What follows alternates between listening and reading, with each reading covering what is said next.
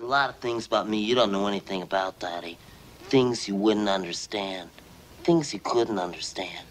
Things you shouldn't understand. I don't understand. You don't want to get mixed up with a guy like me. I'm a loner, Dottie. A rebel.